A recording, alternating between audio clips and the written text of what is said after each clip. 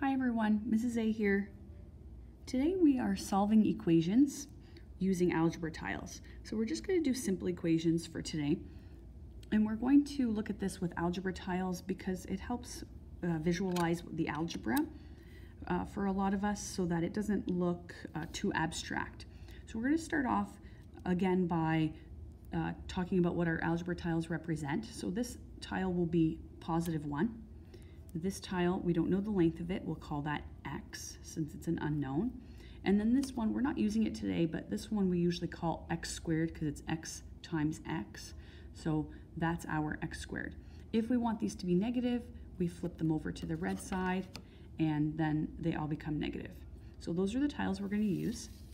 Let's look at our first question. We have an equation. An equation means that we have an equal sign with an expression on either side. That equal sign there needs to remain always in the middle of the equation. It doesn't move. And these terms on either side, we can move them from one side to the other by keeping both sides balanced. So let's see what I mean by that. Let's first get out the tiles that we have. On the left side of the equation, I have two positive x's. And I have three negative ones, like this. So this is on my left side of the equation. And on the right side of the equation, I have positive seven ones.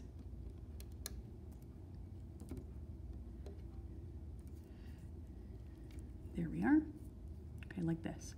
So the goal to solve an equation is always to get the value of the variable. We want to know what x is to make this equation true.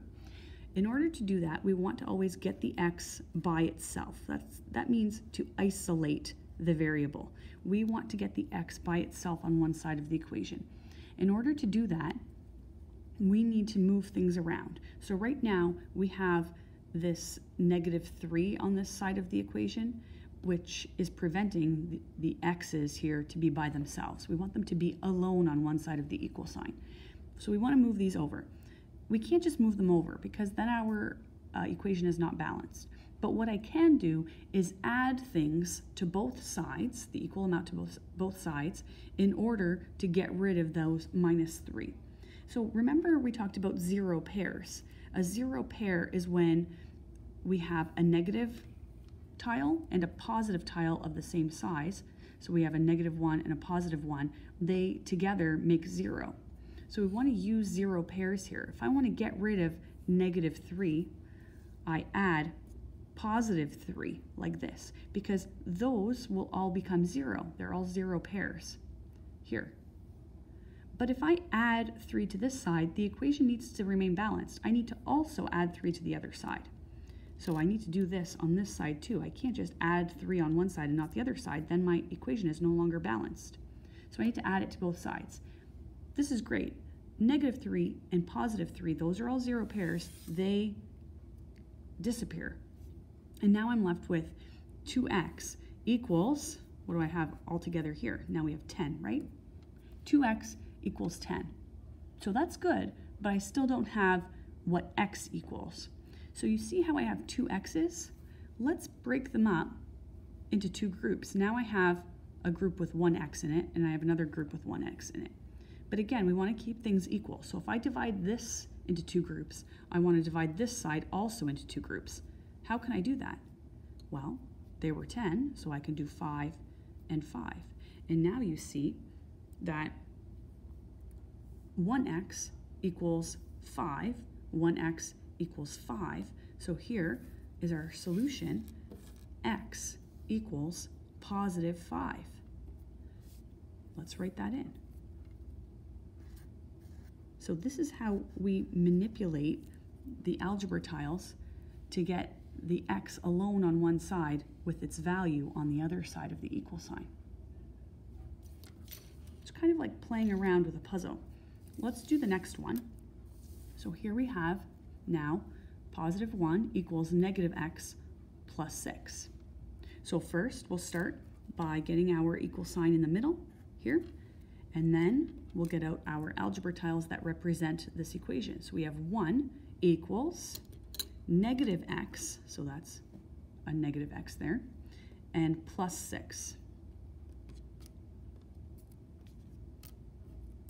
Make them positive, and we have positive 6 there. Okay, so we need to get, again, the x to be isolated on one side of the equal sign all by itself. So we want just x by itself. Right now, here's the x. It's not by itself. These six x, these six ones, sorry, are in the way. So we want to get rid of the six ones. We can only get rid of them by adding the opposite so that we create zero pairs. So I'm going to add on this side a negative 6 here. So if I have positive 6 and negative 6, these will all disappear because they're all 0.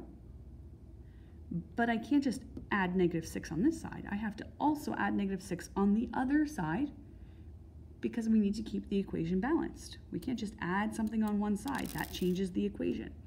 So I'm going to put negative 6 on this side. And keep things balanced. So there's my negative 6 on this side. Okay, that's good. Let's get rid of all the zero pairs. So here we had zero pair, zero pair, zero pair, zero pair, and zero pair. They're all gone, which is exactly what we wanted to ha happen. We wanted that x all by itself. That's great.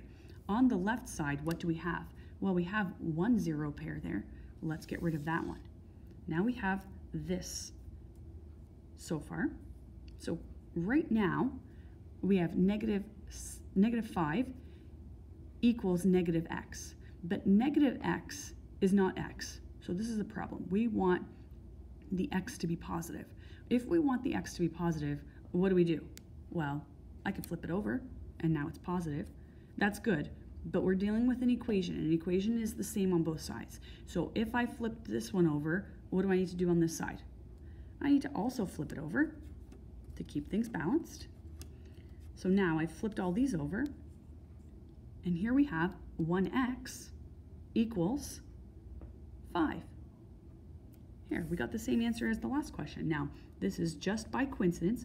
So we had uh, 1x equals 5. We can write it like this because we can read equations uh, in the opposite direction, x equals 5. If you don't like that, then just turn it around and do x equals 5. That's the same thing. It doesn't matter.